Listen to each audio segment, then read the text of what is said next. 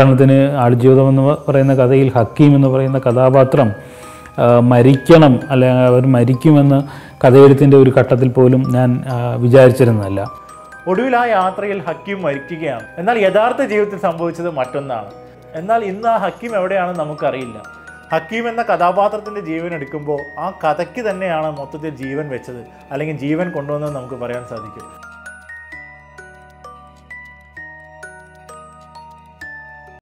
നജീബിന്റെ ജീവിതം ബെന്യാമിനിലൂടെ ഒരു നോവലായി മാറുന്നു.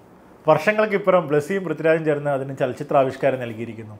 മലയാളക്കര ഒന്നരങ്ങ നെഞ്ചിലേറ്റിയ ആടുജീവിതം എന്ന സിനിമ. പൃഥ്വിരാജ് ചെയ്ത നജീബിന്റെ കഥാപാത്രവും ഗോകുൽ ചെയ്ത ഹക്കീമിന്റെ കഥാപാത്രവും പെട്ടെന്നൊന്നും മലയാളിയുടെ മനസ്സിൽ നിന്ന് വിട്ടുപോകുന്നതല്ല വിദേശത്തേക്കായി ഒരു ജോലിക്ക് പോകുന്ന ഹക്കീമും നജീബും തുടർന്ന് മരുഭൂമിയിൽ അവർ നേരിടുന്ന രണ്ട് മൂന്ന് വർഷത്തെ നരക ജീവിതം. ആടുകളും മരുഭൂമിയുമായി അവർ ജീവിക്കുന്ന ആ വർഷങ്ങൾ. ഒടുവിൽ ഒരു രക്ഷ തേടി അവർ ആ യാത്ര പുറപ്പെടുകയാണ്. ജീവൻ മാത്രം കൈമുതലാക്കി അവർ തിരിച്ചു നടത്തുന്ന ആ യാത്ര.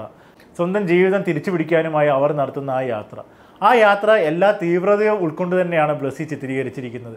വളരെ സംഘർഷഭരിതമായ ആ യാത്ര മരുഭൂമിയുടെ പ്രതിസന്ധികളും ഇതെല്ലാം വേണ്ട വിധം ഉൾക്കൊള്ളിച്ച് തന്നെയാണ് ബ്ലസ്സി ഇത് ചിത്രീകരിച്ചിരിക്കുന്നത്. ഒടുവിൽ ആ യാത്രയിൽ ഹക്കീം മരിക്കുകയാണ്. വെള്ളവും ഭക്ഷണവും കിട്ടാതെ തളർന്ന് മാനസികമായി തന്നെ തകർന്ന് ആ മനുഷ്യൻ മണ്ണ് വാരി തിന്നുകയാണ് ലാസ്റ്റ്. അങ്ങനെ അദ്ദേഹം ഒടുവിൽ മരണപ്പെടുന്നു. അതാണ് ഈ സിനിമയുടെ അല്ലെങ്കിൽ ഈ നോവലിന്റെ കഥ മുന്നോട്ട് പോകുന്നത് അങ്ങനെയായിരുന്നു. എന്നാൽ യഥാർത്ഥ ജീവിതത്തിൽ സംഭവിച്ചത് മറ്റൊന്നാണ്. നജീബും ഹക്കീമും യഥാർത്ഥ ജീവിതത്തിൽ രക്ഷപ്പെടുകയാണ് ഉണ്ടായത്. എന്നാൽ ഇന്ന് ആ ഹക്കീം എവിടെയാണെന്ന് നമുക്കറിയില്ല.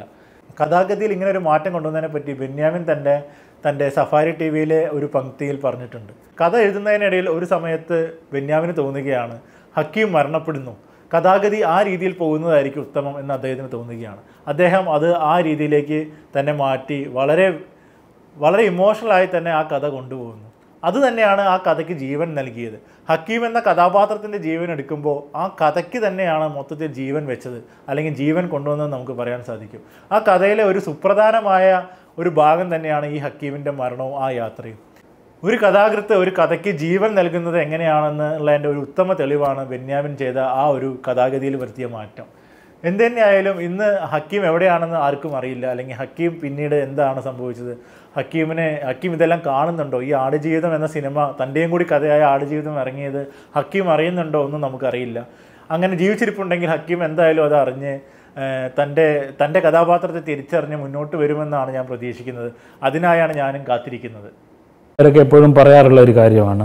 നമ്മൾ വിചാരിച്ച് സങ്കല്പിച്ച് കൂട്ടിയെടുത്തു നിന്ന് കഥാപാത്രങ്ങൾ സ്വന്തം നിലയിൽ സഞ്ചരിക്കുന്നത് നമ്മൾ പലപ്പോഴും കാണാറുണ്ട്.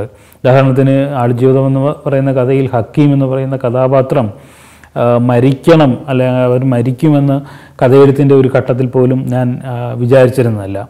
യഥാർത്ഥത്തിലുള്ള നജീബിനോടൊപ്പം ഉണ്ടായിരുന്ന ഹക്കീം മരണപ്പെട്ടിട്ടുമില്ല. അയാൾ രക്ഷപ്പെടുകയും ചെയ്തു.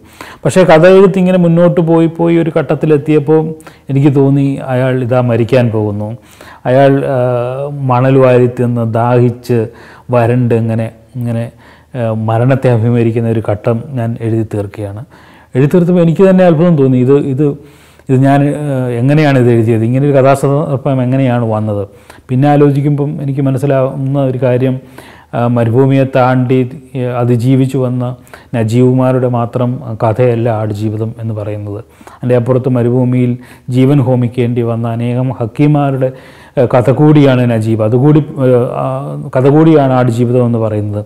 അതുകൂടി പറഞ്ഞു കഴിയുമ്പോഴേ ആടുജീവിതം പൂർത്തിയാവുമെന്നത് കൊണ്ടാവാം ഒരുപക്ഷെ ഞാൻ പോലും അറിയാതെ ഹക്കീം എന്ന് പറയുന്ന കഥാപാത്രം അവിടെ വെച്ച് കൊല്ലപ്പെടുന്നത് എന്ന് തോന്നുകയാണ്. അങ്ങനെ ഒരു നമ്മളറിയാത്ത ഒരു അനുഭവ തലത്തിലൂടെ ഇങ്ങനെയാണ് എഴുതി എഴുതി എഴുതി ഒരു നോവലിന്റെ അന്ത്യത്തിലെത്തുന്നത്.